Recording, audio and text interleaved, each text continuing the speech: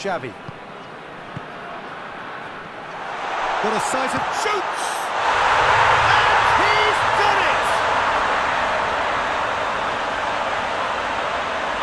Well, you know, thinking about that, I think they've perfected that on the training ground because it took them seconds to get the ball from back to front. And they really commit forward in numbers too. It was all very well drilled.